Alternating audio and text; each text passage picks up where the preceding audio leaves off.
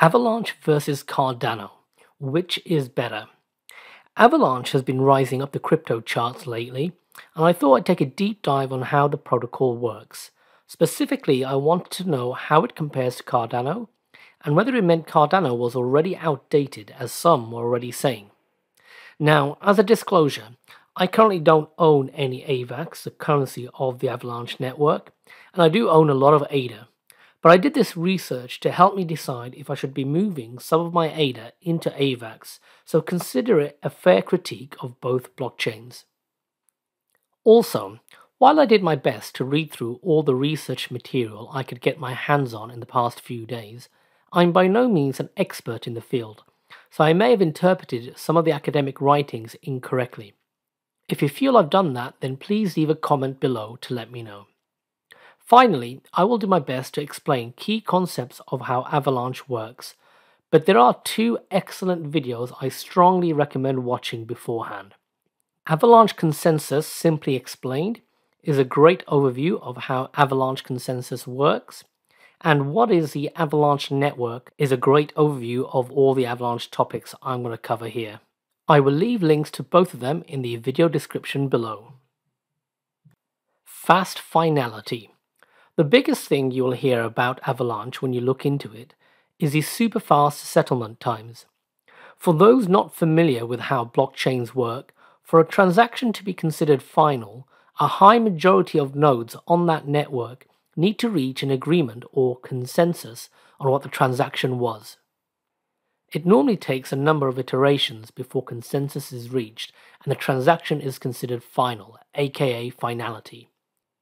Ethereum and Cardano take several minutes to reach finality. Bitcoin can take even longer. In Avalanche, it is one second, which can be considered near instant. How does Avalanche achieve this? Well, it uses something called Byzantine Fault Tolerance Protocol, BFTP, which allows it to employ a clever sampling method. Each node in a network will do a random survey of around 10 other nodes in the network as to whether a transaction is valid or not. Based on what it finds out, it then adjusts its own position. This then repeats very quickly until the entire network has converged on the same view. Bitcoin, on the other hand, uses Nakamoto consensus, which basically boils down to having a leader, in this case decided through proof of work, that then broadcasts the block once it has solved the cryptographic puzzle. I've been doing some digging around and from what I can tell, the current version of Cardano's consensus protocol, Ouroboros Genesis, does not use a BFT protocol, as it requires knowing how many nodes there are running in the network up front. This would then result in lockup periods for staking, such as in Avalanche, where funds are locked up for a minimum of two weeks. Avalanche has two versions of this protocol, Avalanche and Snowman, but one is just a slight variation of the other. The BFT based consensus protocol is definitely impressive, quite intuitive, and super fast, so I have to give kudos to Avalanche here. We'll discuss Cardano's finality later on. Mixed multi chain architecture. The second bit of innovation from Avalanche is that they have three different blockchains that work together. I imagine these will be called sidechains in other blockchains, except here they can all be considered the main components of layer 1. Each blockchain can be configured in its own way. For example, the X chain, which is purely for the purposes of managing and exchanging tokens, is built on a direct acyclic graph architecture or DAG, which is renowned for its speed. The P chain is for managing other blockchains, aka subnets. This is a similar concept to sidechains in Ethereum or Cardano and parachains in Polkadot although there doesn't appear to be a fixed capacity that needs to be auctioned off as there is with Polkadot. Each subnet can be private or public. What this means is you can have industry specific blockchains set up, which are private and for use only between participants in that industry. This is a second innovation that I'm quite impressed with. It's something that would have a great appeal to businesses.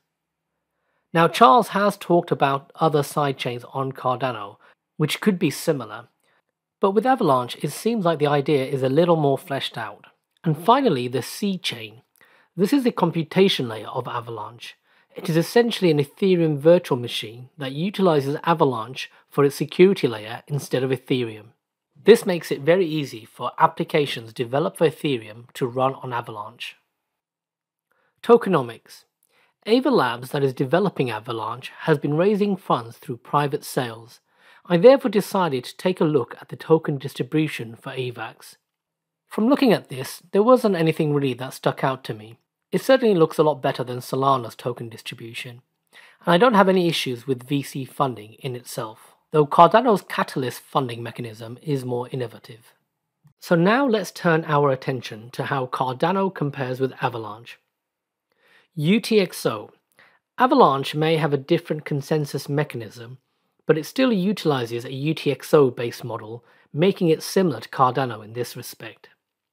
I find it reassuring that both projects consider the Bitcoin accounting model to be the best one to build on, as opposed to Ethereum's. In fact, Avalanche should consider joining the UTXO alliance too. Fast finality. Speaking of consensus, the Hydra paper is very clear about fast finality being one of the key features of the Hydra Layer 2 solution. To quote, one aspect where Hydra really shines is fast settlement. As soon as all parties have signed a transaction and the sending node has aggregated a valid multi-signature, this multi-signature provides a guarantee that the transaction can be included into the ledger of the layer 1 system. I've been trying to understand this a bit better, and one user on Reddit told me Hydra is state channels similar to Bitcoin Lightning Network, not a new consensus mechanism. When you do a state channel transaction with someone else, it is not finalized on chain. Instead, it gives you a promise that when you'll eventually close a channel and settle the funds, you will receive the correct amount into your wallet. That is what Hydra's fast finality means. It is a fast promise of finality, but not actual finality like on chain transactions. So, in short, if I've understood this correctly, the user experience of anything that uses Hydra will be that of fast finality, but in the background, it will still be relying on Cardano's Layer 1 solution to do the settlement, which would take around 5 minutes. But it does mean that seriously fast transactions are coming to Cardano. Charles, by the way, has said that Hydra will be entering 3 to 5 week development cycles, meaning it's full steam ahead with development. Fast finality through Layer 1 improvements. Charles, in his recent AMA, did, however, talk about how input endorsers as mentioned in the original Ouroboros research paper, can speed things up significantly, and that they'd be releasing a blog post on this in due course.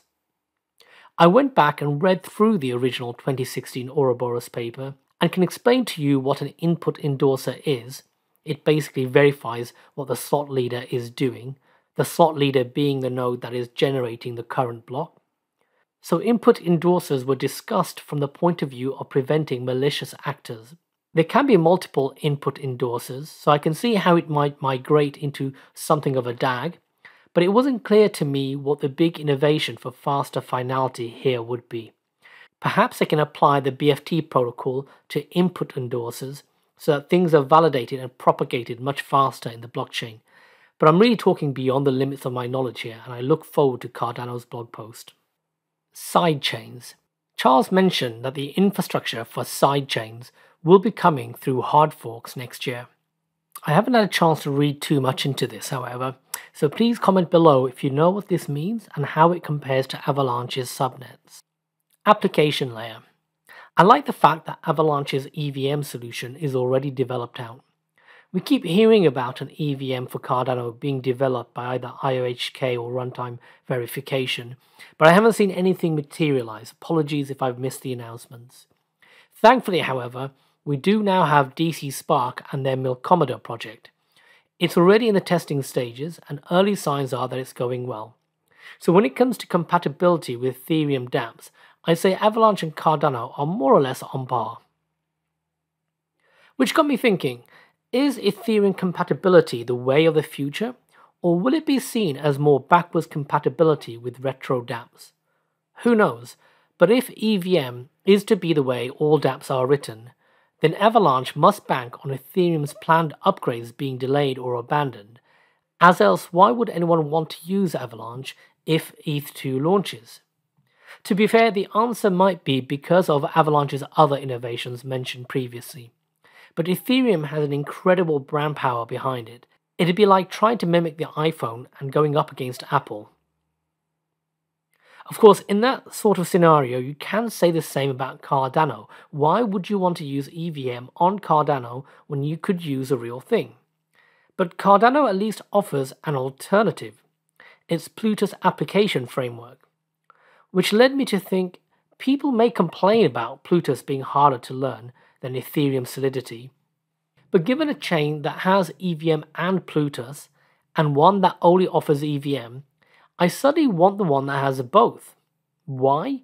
Because Plutus offers a refreshing alternative to EVM. Plutus is designed with mission critical applications in mind, so it's a lot more rigid in what it allows and therefore less likely to have bugs in the application. There is a chance, therefore, that Plutus would be what big businesses would want to build their multi million dollar applications on, given the history of bugs and hacks on Ethereum dApps. Of course, I might be wrong, and the EVM may continue to dominate, but I still prefer a chain that has both options. Conclusion It was great learning about Avalanche, and I've been impressed with its innovations. If I had new sources of funding, I'd definitely buy some AVAX. However, am I going to sell my ADA for AVAX?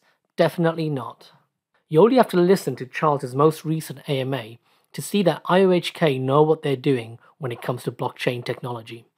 There are certainly parts where I could do with more information, specifically what is the amazing layer 1 improvements that has been alluded to, but that will be presented in due course. Cardano has got immense momentum. At least 100 dApps will be launching in the next 3 to 6 months. DC Spark are launching their EVM sidechain for it soon, and it has a programming model Plutus that is designed with mission critical systems in mind. It is being deployed in real life enterprise settings with millions of non crypto users getting onboarded. It's putting in place a certification system for dApps. It has a burgeoning governance system, a multi billion dollar decentralized investment vehicle controlled by ADA holders in Project Catalyst, and an identity solution in place that positions it well for oncoming crypto regulation. In short, tech is just one piece of the picture. Many Ethereum killers touting amazing tech have come and gone over the years, but Cardano has steadfastly remained. I will have to do more research on the non technical aspects of Avalanche, so don't take this to mean they are sitting around doing nothing. For one thing, they do have a $200 million fund for ecosystem development. And I definitely want to have some AVAX in my portfolio. But the breadth of IOHK's roadmap for Cardano is mind blowing, and I don't want to be sitting on the sideline watching it unfold in 2022. Of course, that's just my view, and you may reach a different conclusion based on what I've said and doing your own research. As I always say, I'm not a financial advisor. I hope you enjoyed watching this. If you did, please consider giving a thumbs up and subscribing to the YouTube channel, and follow me along on Twitter. Other than that, have a great day.